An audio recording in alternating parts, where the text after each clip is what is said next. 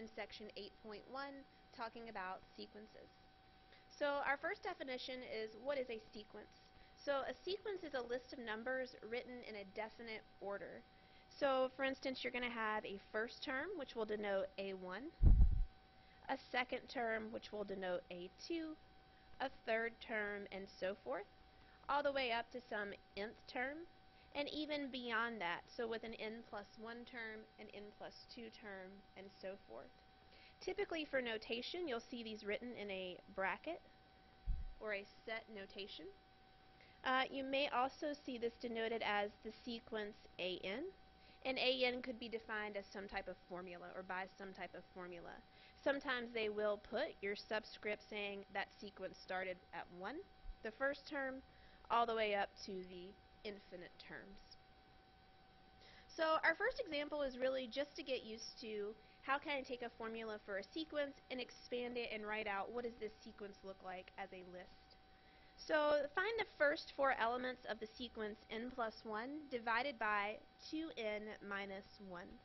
So what we want to do is we want to start with our first term, so I'll denote this is when n is going to be equal to 1, and I'm just letting everywhere we see in this formula you have an n now be replaced with 1. So for instance, I would have 1 plus 1 divided by 2 times 1 minus 1. So in my numerator I have 2. In my denominator I have 2 minus 1, so 1, meaning my first term is a 2. I'm going to do this to find our second term. So what does this look like when n is equal to 2? Well, in my numerator, I would have 2 plus 1 divided by, in our denominator, 2 times 2 minus 1. So in our numerator, I have 3. In our denominator, I have 4 minus 1, which is also 3, meaning our second term is a 1.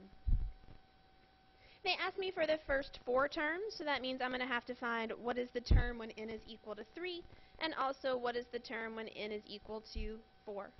When n is equal to 3, notice in the numerator I would have 3 plus 1. In the denominator I would have 2 times 3 minus 1.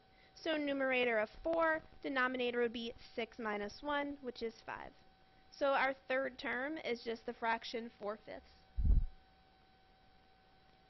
For our fourth term, plugging in that n is equal to 4, I would have 4 plus 1 divided by 2 times 4 minus 1.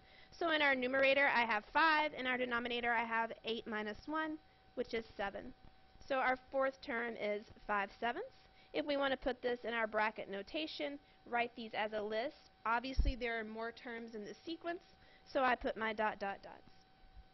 This is what it looks like to expand a sequence from a formula.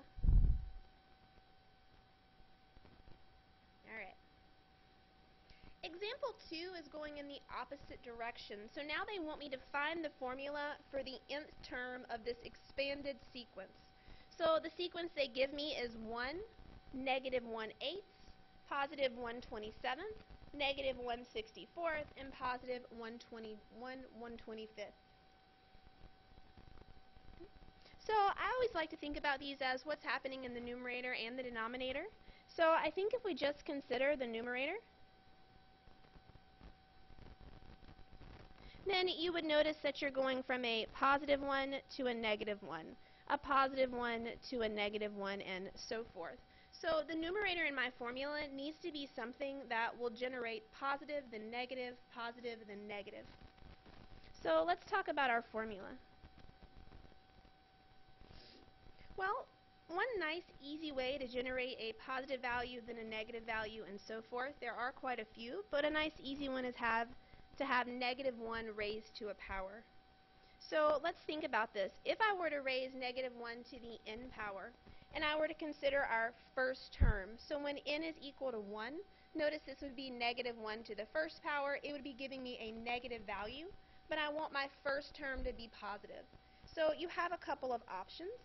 One way to do that is to write this as the n plus 1 power.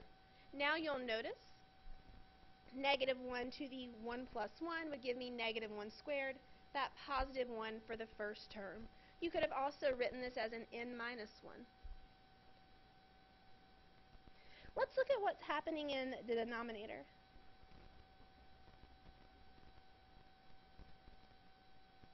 Well, for my first term, our denominator is 1, right, because this is 1 over 1. I then have an 8, a 27, a 64, and a 125. So again, keep in mind this was my first term, my second term, my third term. And the idea here is that I want to relate these values to the n that they go with. So how is 1 related to 1? Well, there's quite a few ways you could talk about that relationship. I want to know how is 8 related to 2? There are a couple ways for that. You could be thinking about multiplying values to get 8 at this point. But when I start considering how is 3 related to 27, 4 related to 64, and so forth, noticing that I want this relationship between each one to have that same relationship. Well, I think it's easy to see that when I cube 2, I get 8. When I cube 3, I get 27. When I cube 4, I get 64. When I cube 5, I get 125. And it does work for that first term as well. When I cube 1, I get 1. So this is just the nth term, meaning that nth value, cubed. So this is the formula that I'm proposing for this sequence. Now it is a good idea to check and make sure that you have done this correctly. So if we wanted to expand this, I won't do it for all five of them. But again, notice when I plug in that n is 1, I would have negative 1 to the 1 plus 1 over 1 cubed. I am in fact getting 1. When I use n is 2, I would have a negative 1 to the 2 plus 1, meaning negative 1 cubed, which is giving me a negative, and the denominator 2 cubed, which would be that 8. So I have negative 1 8. You can continue to check this and see that our formula does in fact generate this sequence. Now we want to talk a little bit about what does it mean to have the limit of a sequence. So your textbook defines this in this way. A sequence AN has the limit L if we can make the terms of the sequence AN as close to the limit L as we like by taking n sufficiently large. So basically by taking n large, I can have the sequence approach a particular value. That value is the limit of the sequence. Notation for that, limit as n goes to infinity of the sequence an is equal to L. If I can get this single value L that the sequence is approaching as n goes to infinity, I say the sequence converges. Otherwise, I say the sequence diverges. So examples of when something may diverge, maybe I'm taking the limit as n goes to infinity, and I realize my sequence is going towards infinity. Maybe I realize that the sequence is approaching negative infinity. Maybe as n goes to infinity, my sequence is oscillating between the positive and the negative of some constant. Obviously, I don't mean zero, because that would be a single value. I mean I have, say, a positive 1 and a negative 1 that it's going back and forth between. It's not approaching a single value, so it diverges. We're going to look at a few examples of taking the limit of a sequence, but I do want to remind you that you worked a good bit with limits back in Calculus 1. You should be familiar with limit laws. Your text repeats those for sequences. So limit laws for sequences.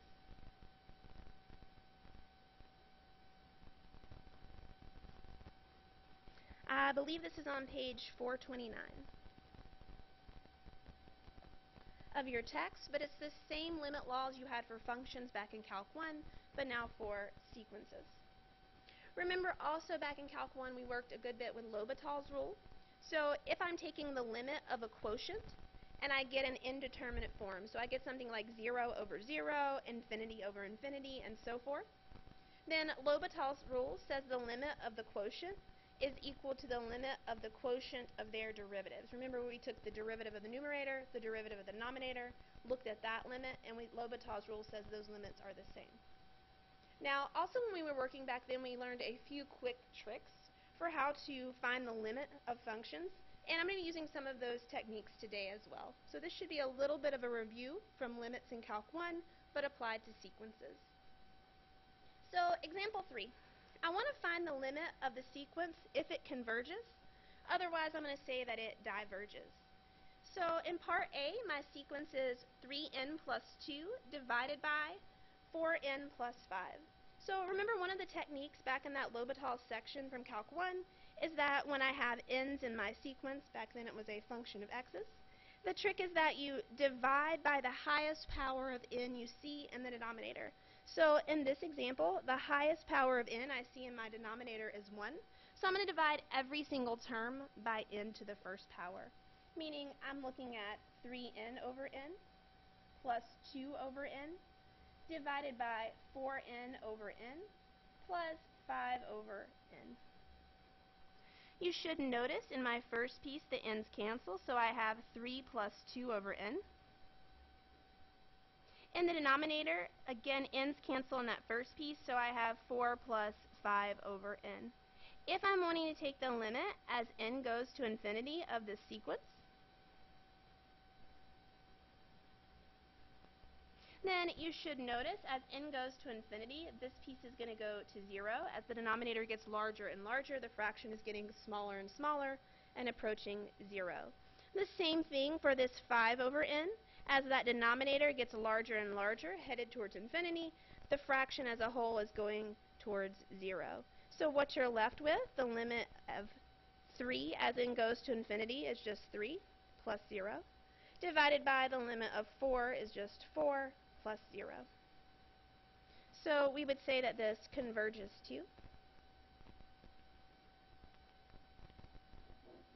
3 fourths. And this technique is perfectly fine. I do want to remind you the reason this is legitimate. It is like I have taken the original expression and I have multiplied it by 1 over n divided by 1 over n. Ultimately, what did we do? I multiplied that expression by 1, which is why I did not change the values, meaning I did have that equality. Right, but you don't have to write this out every time. You can just use the technique. In part B, I now have 3n squared plus 2 divided by 4n plus 5. Again, if I'm wanting to take the limit of the sequence, so the limit as n goes to infinity, of 3n squared plus 2 over 4n plus 5. I'm going to look at the denominator, and the highest power of n I see again is 1. So I'm going to take each term and divide it by n to the first power. So I have the limit as n goes to infinity of. This would be 3n squared over n plus 2 over n divided by 4n over n plus 5 over n. So what I'm looking at is the limit as n goes to infinity. Here you have one of the n's canceling, meaning I'm left with a 3n plus 2 over n. Divided by n's are canceling, so I have 4 plus 5 over n. Now, let's look what happens as n goes to infinity. For this first piece, you're going to have 3 times an n going towards infinity. Notice that's still going towards infinity. Here I have a plus 2 over n, again, as the denominator goes to infinity, the fraction goes to 0. Divided by 4 plus, here I have 5 over something going towards infinity, so again, this little fraction is going towards 0. You're looking at something very, very large divided by 4. We are still looking at something very, very large. So in this case, we say that that sequence diverges.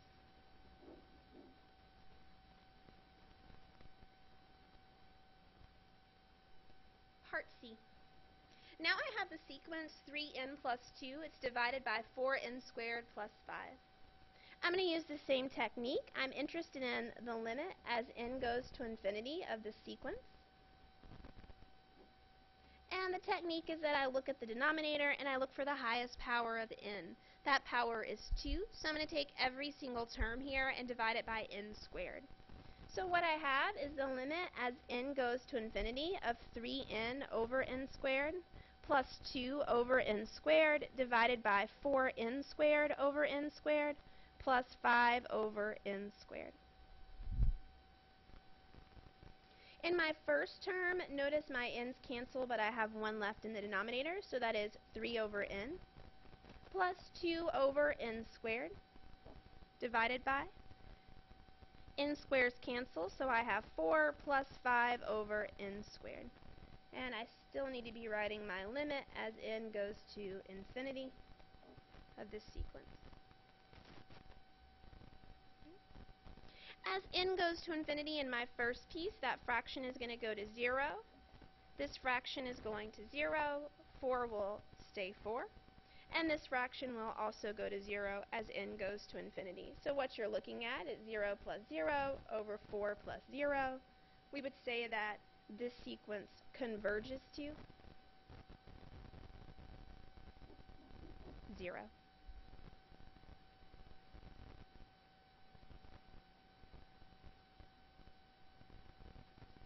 Part D. Now I have the sequence 3 plus negative 1 to the n divided by 3. Now the techniques I've used in A, B, and C are not going to apply here because you'll notice I don't have some power of n in my denominator. So a couple of different ways we can work with this. First thing I'll note is that I am considering the limit as n goes to infinity of this expression. Well, I think it's pretty clear to see that the 3 on the top and the 3 on the denominator are not affected by n. So this is the same thing as 3 plus the limit as n goes to infinity of negative 1 to the n divided by 3. Let's talk about this part of the expression. So what is happening as I raise negative 1 to larger and larger values? Well, you should notice that it's still going to be oscillating between the negative and the positive depending on whether or not n is an even or an odd power. So this part of the expression is going, say, negative 1, 1, negative 1, 1, and so forth. So if we wanted to consider what's really happening to this expression, when this piece is going to negative 1, you have 3 minus 1, which is 2 over 3. Or, if we're on one of the powers that are even, negative 1 to an even power is generating our positive 1. When I add that to 3, I have 4 being divided by 3. So this sequence is oscillating between 2 thirds and 4 thirds. It is never approaching one value meaning this also diverges.